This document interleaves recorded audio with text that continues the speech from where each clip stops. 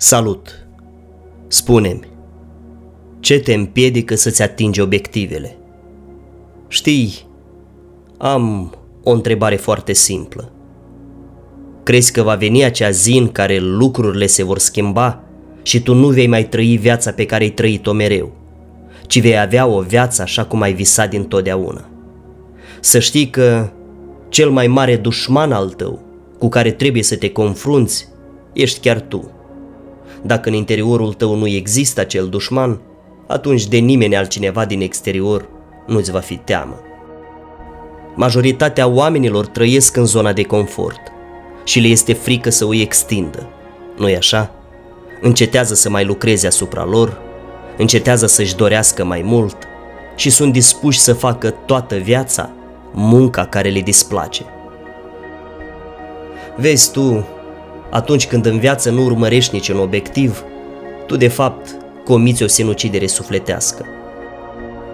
Dar când ai un cel și te străduiești să-l atingi, pereții zonei tale de confort încep să crape. Și atunci apar noi oportunități, îți descoperi noi talente despre care poate nici nu știai.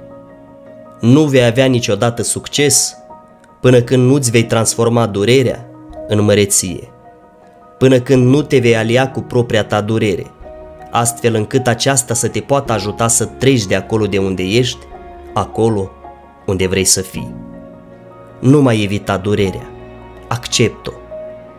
Durerea ta va fi doar o părticică din tot ceea ce vei realiza. Forțează-te să o faci. Sunt lucruri în viață pe care fiecare dintre noi ar fi trebuit să le facă la un moment dat. Dar nu le-am făcut, din cauza fricii. Ți-e teamă de eșec, ți-e teamă să greșești, te temi de faptul că nu ești perfect. Dar tu nici nu trebuie să fii perfect pentru a realiza tot ceea ce îți dorești.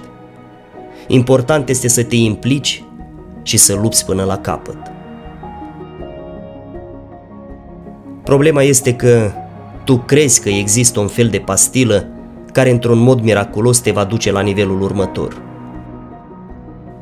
Însă nu faci altceva decât să gândești la fel ca toți ceilalți.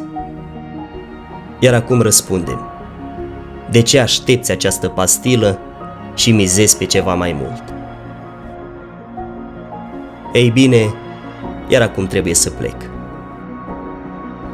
Cu tine a fost doza de motivație. Pe curând!